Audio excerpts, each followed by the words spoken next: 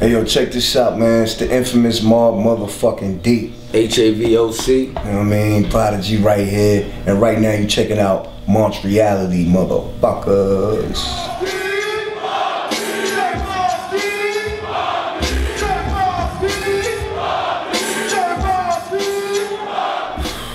I, I remember that day you came to my crib. Jersey. He was like, whoa, so we going shopping. You heard, you. We went Clothes, and bought jewelry, gold Jewelry. teeth, leather jackets. everything that we could possibly get our fucking hands on.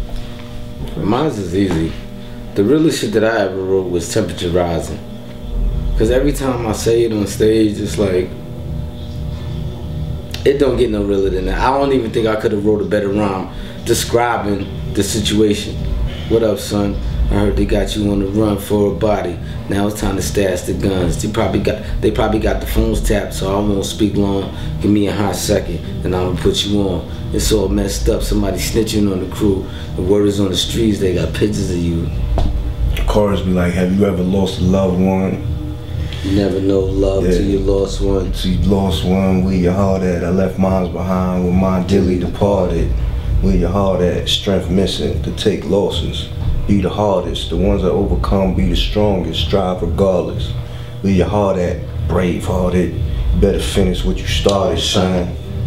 Uh, Duo, Mobb Deep. oh man, that's not fair. no, seriously, it's Mobb Deep. That's not a fair question. Um, my favorite cartoon character of all time. I have a lot of them because I used to lo- watch a lot of uh, cartoons, but I would have to say Voltron. Ready to form Voltron. Let's go, Voltron! You know what I mean? Uh, Voltron and why is because they used to like form together and battle evil. Like you know what I'm saying? Because I always dream of like having an ill crew that forms together and we just battle what we gotta do. So Voltron was just like so ill to me. That's classic. Word, and Voltron, son. Oh, yeah. Son, and I couldn't even afford the toys to get them at Christmas. That's why I hate I Christmas. never had a Voltron. The big robot with all the things on it. neither. Never had Me neither. But um, um, remember back then Yeah, when we was like yeah. 11 and 12. That was the hottest shit up. Voltron, that shit was Wasn't it something just like Voltron? They copied off of it. So Transformers, it was something else. They formed GoBots, into one, GoBots, into GoBots, one robot. GoBots. It was like the cars, GoBots. But what's Um, the name? I think my favorite, my favorite cartoon was like. uh I used to like, I used to like Tom and Jerry. That shit was mad funny. Like, Nah, that I would have said that that was my favorite one. that was But funny. moving forward, yeah, Tom and Jerry was crazy. That shit and fucking Ren and Stimpy. Cause I was smoking mad weed when that shit came out. I used to be dying every day. Yo, to all the weed smokers out there, if you smoke weed, you can see the seriousness inside of cartoons. Because if you look at a cartoon like kind of like sober and not high, you just look at it on the face of it. But when you high, you be like just like, yo, Yo, who got the some crazy fuck? messages in this shit, right? It's real messages Oh, in the yeah. cartoon. Yeah, we was actually there with him. Yep. Nate When was hell. Nate, that celebrity, that was a great loss, man. Hip hop took. He was he brought something new to the table, like his voice and the way he he sing some dog shit. That was ill, yo. But one thing that I got from um, Nate Dogg while we was in the studio with him was that he was real quiet. Nah. You know what I'm saying? Maybe because we didn't know him or we wasn't friends with him or whatever. But the sense that I got from him that he was real quiet and serious about his business and doing what he was doing. Right, right. You know what I'm saying? So, you know, Yeah, he was. he was like real He was serious. serious. He was serious Real about serious. Man, he wasn't playing either. He, he wrote Nah. that shit, and that shit was fire. Imagine what he had on his mind. You know? Now everybody from the 313, put your motherfucking hands up and follow me. Put your motherfucking hands up. Look, look. Uh, I believe that the end was just, you know, he was fan of hip hop, fan of Mobb Deep, and he just did that on his own. You know what I mean? And I didn't know about it until um, I actually watched the movie. I, I was shocked as soon as it came out. I was like, oh shit. And then I, I think I hit Chris, and he was like, "Yeah."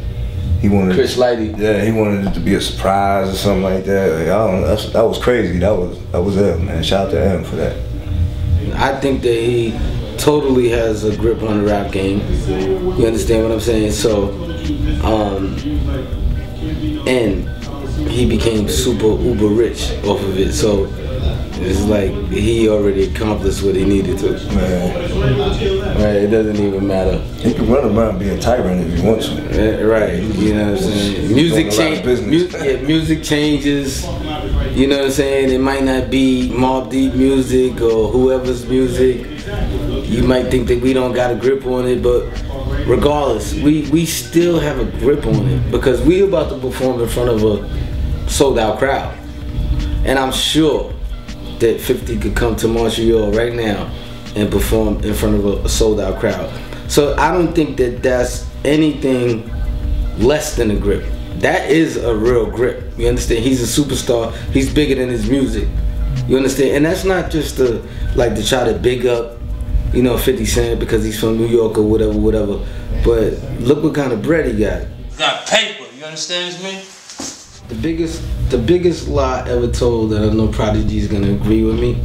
The biggest lie ever told is that skin color matters. That's the biggest one of all time. Yeah. We all have the same heart, No. same blood. No. I could give a Jewish person my blood if he needed a transfusion, if it matched. That's true. We all human. You understand? The biggest lie ever told is that skin color separates us. That's the biggest lie ever told. That's Yo, my it mom said. be doing that shit for real. The past is called past life regression. No, I, I looked up my shit already. That's why I said My that. mom's be doing that shit. I was, for I real. was, I was. No matter of fact, I wasn't an emperor. I'm sorry. I was a um, a artist, a painter. Huh? I was a painter, and I was something about whatever, whatever, blah blah blah, and I got sense. poisoned, and I got poisoned by a, a, a one of my concubines.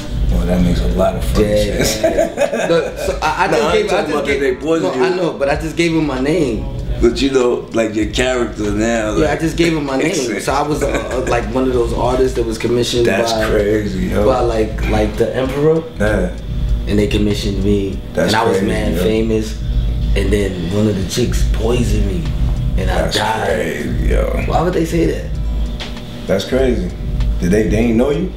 No, they don't know me at all. They don't know what I do. That's what they said. Check this out. My mom's had a past life regression. That's what it's called. They go through hypnosis. Right. And then while you hypnotize sleep or whatever, they talk to you and you talk and saying whatever it is that it was. Because you under hypnotism. So my mom was like, yo, she went and did it. And they said that uh, she was like in the Jewish camp.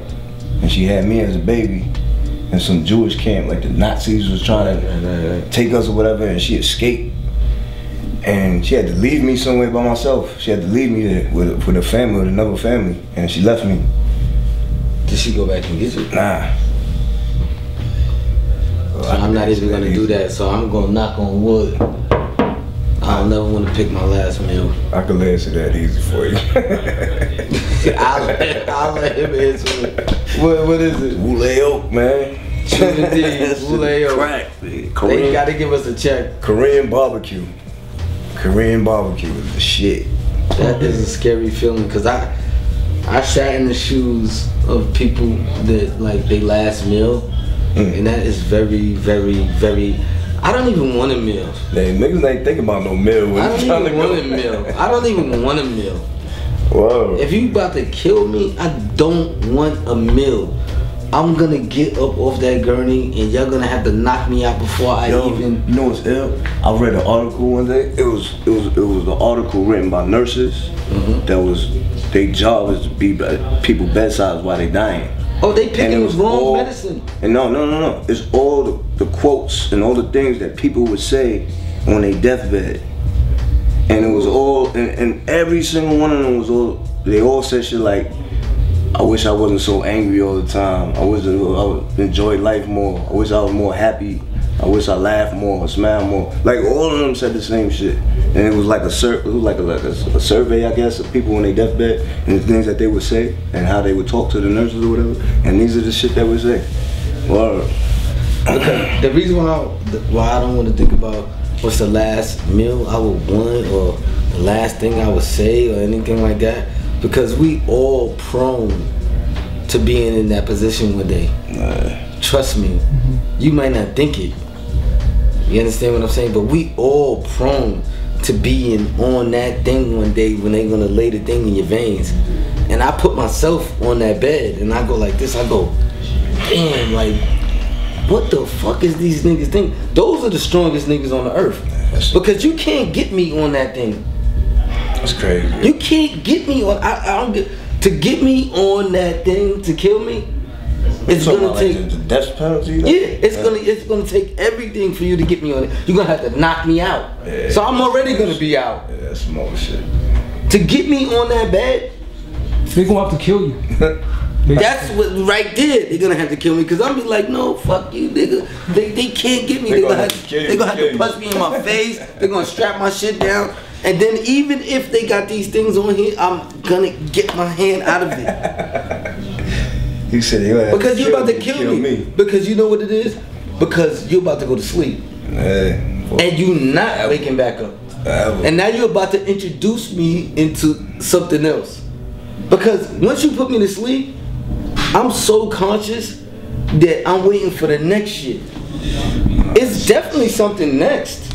That's a ill, uh, that's a ill situation to be in, man. You be like this. You be like this. These niggas going like this. But most of the niggas that they do it to deserve it. Until my death, I'm gonna stay alive. Tomorrow, another day, we going to survive. Yo, we living in to the day we die. Tomorrow, another day. Message to the youth. Oh man, yo. You want my, my my my message to the youth is this: Be better than us. Be better than the last generation. Be better than us. So I tell my kids all the time. You know what I mean? Each generation supposed to get better than the last one. Smarter. You know what I mean? Making better moves. That's it. Montreality, kid. Bye.